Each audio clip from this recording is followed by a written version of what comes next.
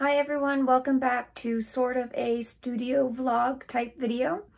Um, today I wanted to do something a little bit different. I've been sort of into uh, loose florals a little bit more. I've been seeing more videos uh, in February of people doing those videos. So I thought I'd give it a try. Um, usually I'm not much of a loose painter, um, but I did have a little go at it and kind of try it out. And so I'll show you guys that right now. So I've got these um, papers here. And in here, I did attempt to do some loose roses and just, you know, practice doing some florals and some different colors for leaves and things like that. And I actually really enjoyed it. So what I was thinking of trying to do the roses that I've been doing here, and but doing it on different papers. So I've got my arches hot pressed and cold pressed. I've got um, the Strathmore 500 series, hot pressed and cold pressed. And then I've also got the Etchr postcards here, and again, hot pressed and cold pressed. And so I thought I would just kind of do some loose florals on them, try it out. Um, if you guys want to see this video, let me know down in the comments below. Um, I will record it, but whether if it goes up or not, we'll see. I did record this, but this was more kind of for fun and to test out the um, cold pressed paper in here. So let me know if you want to see that as well. But uh, that's my plan for today. Okay, so here's some of those loose florals that I did to test out um, how these papers did. I quite like doing uh, the loose florals, so if you want to see more of that, uh, let me know. Because it's really fun, you just kind of splash some paint around, which is my favorite thing to do, and you kind of try to make, um, you know, an abstract rose or whatever flower. I want to try different flower types, so let me know. So I did these, and then I also decided to do another page um, in my Etchr book. So I used the same techniques that I did in those other ones here, and I really like how these ones turned out. So I might do a video on this one, um, just because, again, I was still playing around, but that's the fun of it. I used my Daniel Smith uh, watercolors for this uh, because I find the colors that they have really lend to like landscapes and florals and things like that.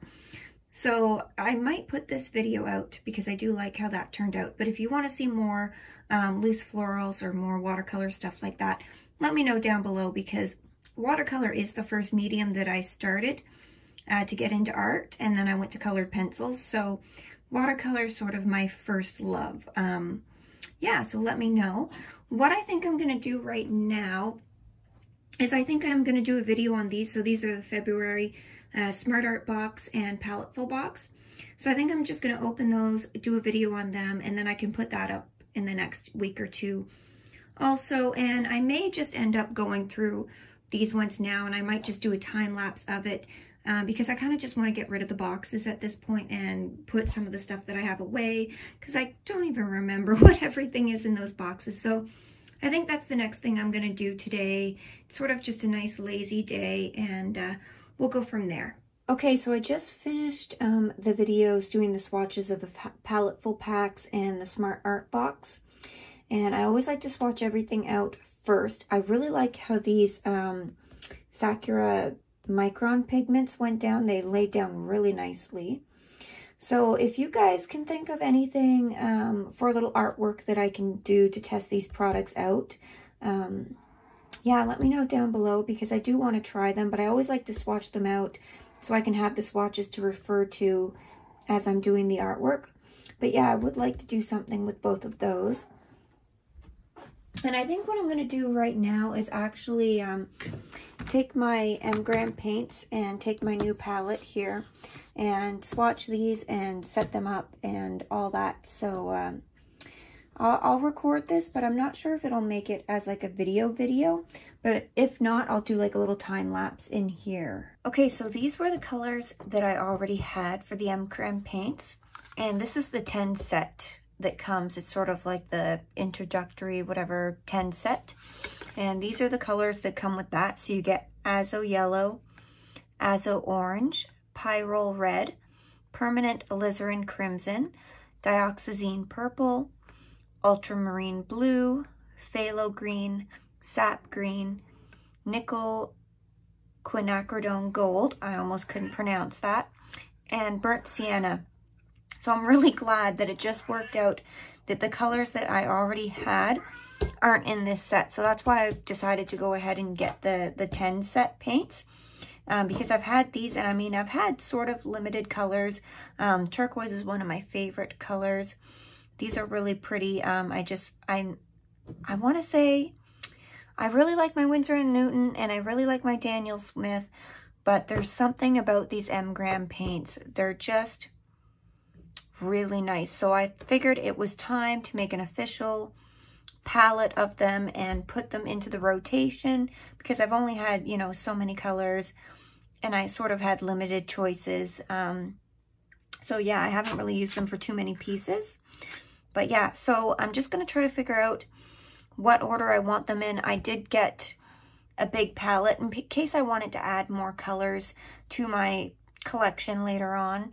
Um, and if you'll, if you notice, this is the exact same palette that I have for my Winsor Newton and for my um, Daniel Smith as well. And I love these palettes. They're really nice. Um, so this comes out. Well, this one's stuck in there right now, but this comes out so you have an extra mixing tray and you can always take this one out so you can go wash it out at the sink or you can take it out so that you can close your palette up once you're done and save your colors on here. I I'm one of the weird ones. I hate having a messy palette. So you'll see whenever I start a new painting, I have a fresh new space because I hate getting um, muddy colors. And I find if I just have a bunch of colors on here, I tend to just get muddy colors because I'm not really sure what I'm mixing into. I can't remember what were the last colors that I was using. Um, so yeah, I, I tend to wipe my palette off.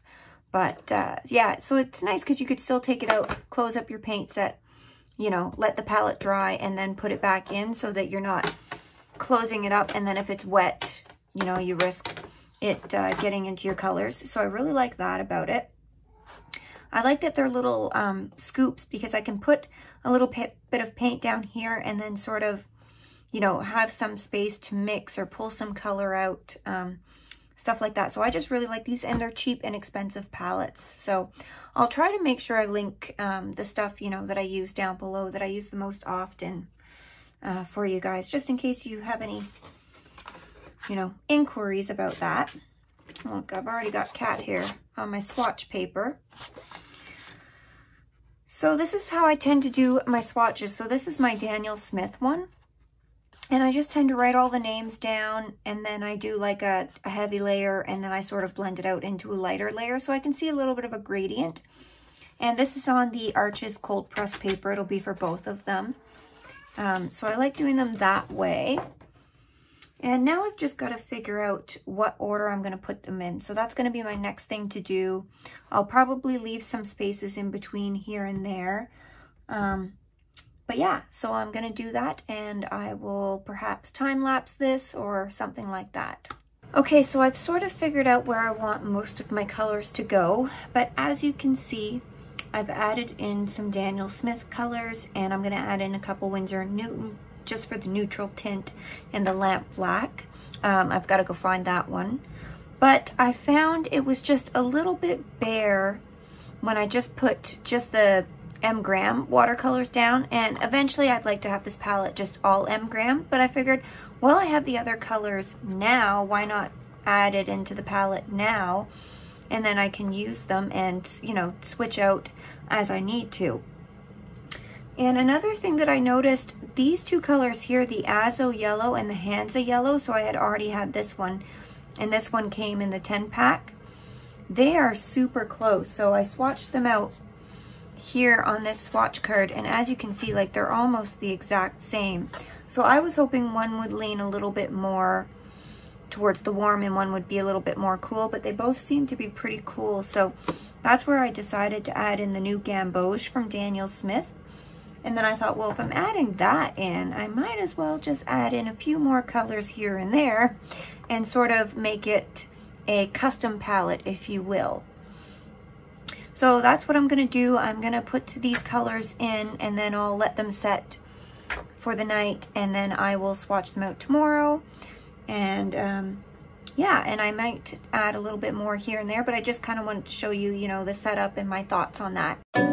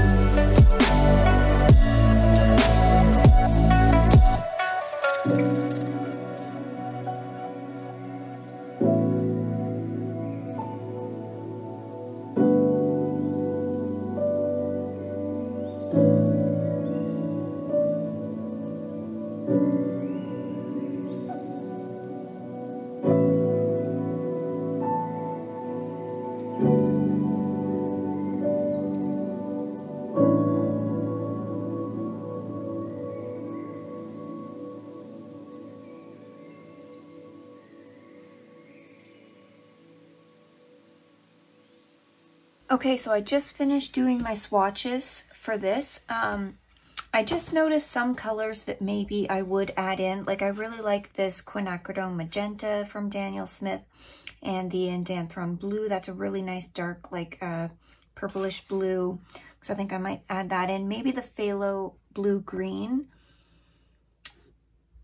I mean, that, that one's pretty close, but uh, just a couple colors. Um, that I think I might add. And then once I get more M Graham pant paints, I will just replace them with those.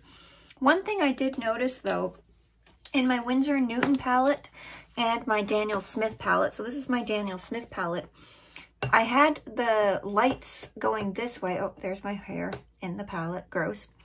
Um, so I had my lights here and, you know, my warms to my cools, my greens, and then my darks. But this palette was actually the opposite way and I thought that would confuse me maybe having the the lights over here and the darks over there. So I kind of just just put my nail in here and I thought hey can I switch it? And you can. This tray also comes out and then you have another tray down. But I mean I, I guess you could just take it out and, and do you know take this with you if you didn't want all this. But that is another cool feature about this palette. So I just popped this in the other way and now I have my lights on this side, my darks on this side. The, the trays are a little bit um, different actually. They scoop this way instead of scooping that way, but I think I actually like this way better. So yeah, in case you mess up your palette, if you are using these palettes, you can always take it out and flip it around. So I like this design much better because now it matches my Winsor & Newton, my Daniel Smith, and now my M. Graham slash Daniel Smith palette. Um, because when I do my swatch sheets, I'll lay them like over here on the side, but I'll lay them, well, you can't see there, but I'll lay them this way so it matches the way the, the palette goes. And I have my Daniel Smith done up this way too, so that when I look at it, I can just quickly pick what color I want. So now my swatches and my palette match up. Okay guys, I think that's it for today's vlog. I hope you liked it and enjoyed it. If you did, be sure to get the thumbs up and subscribe to my channel.